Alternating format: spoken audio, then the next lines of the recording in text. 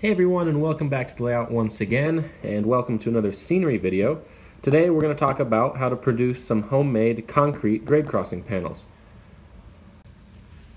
Now I'll just say right off the bat that I didn't really take any specific uh, measurements or uh, get the, the specific dimensions of grade crossing panels.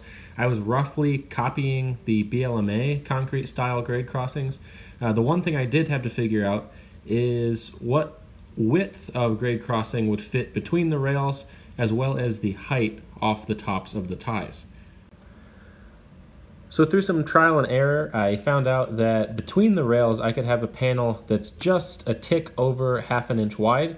And then for the panels that go on either side of the rails, um, I just randomly picked a width that looked good and uh, I put these at just over 5 sixteenths of an inch. The length of the grade crossing segments was, again, pretty arbitrary. I just needed them to be as long as the actual uh, road or gravel crossings. So I have one road crossing that crosses a, a diagonal, and I measured that the panels roughly needed to be about six inches long. And then for my perpendicular crossing, that's just a dirt and gravel road, that only needed to be um, a few inches long, so I decided to make the panels themselves about four inches long. Now we'll see later on that I'm going to simulate uh, a multiple segment grade crossing, but I'm not going to separate the segments, I'm just going to keep it as one long piece of plastic, and we'll make it look like they're individual concrete segments uh, put end to end when we paint on the metal edging that goes around each of those segments. So I decided that I would make each of those segments one inch long, meaning that for our road, it would be a six inch long grade crossing, and for the gravel and dirt road, those would be four inches long and four segments in length. So for this project, I decided to use four one hundredths of an inch thick styrene because as it turns out, I had some 3M VHB tape lying around and I had planned to use this to lay my road and this tape is exactly 4 one hundredths of an inch thick. Um, so that was pretty convenient and all I did for the road was lay down an HO scale cork foundation plus some N scale cork on top of that and then when I put my concrete or my plastic grade crossing panels on top of the N scale cork it met flush with the top of the rail heads. Um, and that meant that then when I put the VHB tape down, I had a very smooth and flush surface to then uh, pour my road with. With the grade crossing panels all cut out in the length that I wanted, I then uh, prepped to make the road. Now of course the actual road laying or road pouring process is a separate video, so be sure to check out my channel. Um, I uploaded a couple weeks ago a video on how I made the road.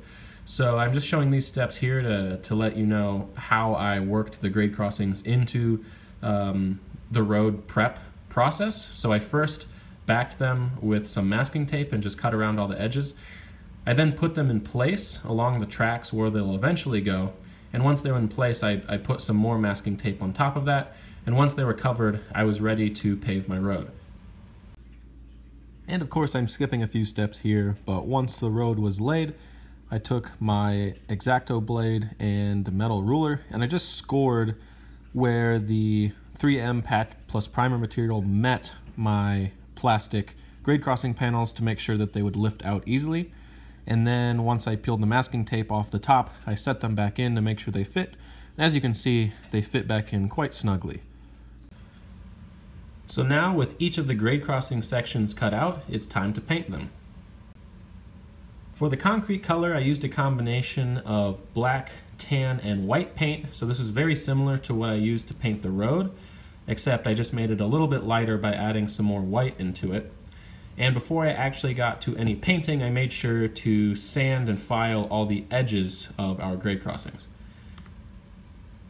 And just like I painted the road, I took a cosmetic sponge and just sort of dabbed the paint mixture onto our white grade crossing panels and I held them in place with a reversed or, or upside down piece of masking tape. Once I had painted the top surface of all the panels in a light gray color that looked good, I then had to turn my attention to painting the metal stamping that goes around the edges of all of the segments of the grade crossings. So to do this, I once again placed the top surface of our grade crossings on a piece of masking tape, and then I cut or, or traced the edges so that when I flipped it back over, I had a, a piece of plastic that was completely covered in masking tape. Now this might seem a little odd uh, to cover up the paint with masking tape, but what I'm going to do here is create a mask by removing sections of tape so that it'll reveal the pattern of our metal stamping that goes around the grade crossing segments. So first I measured out an inch um, for each segment. So for our longer grade crossings, I had to put um, five little indentations in the masking tape so that I could remember where to cut out little sections. And then for our shorter grade crossing panel, since those are only four inches long, I only had to put three little score marks. And then using my X-Acto knife, I cut out and removed very thin little bands of masking tape at each inch mark that I had scored just moments earlier. And for these sections that cut perpendicular to the grade crossing panels, um, except for the end strips, so any of the strips that are in the middle, I made sure to make those a double width because if you can imagine, what I'm trying to simulate here is four or six individual segments that have been placed end to end. So the places in the middle where they meet um, should represent a, a double thick band of metal stamping. Um, and then you can also see that I removed thin strips uh, around the edges of the grade crossing panel. And this I just sort of eyeballed. I didn't really have any measurements on hand. Um, so I just removed thin little strips of masking tape using my metal ruler and I just removed as much as I thought would look realistic.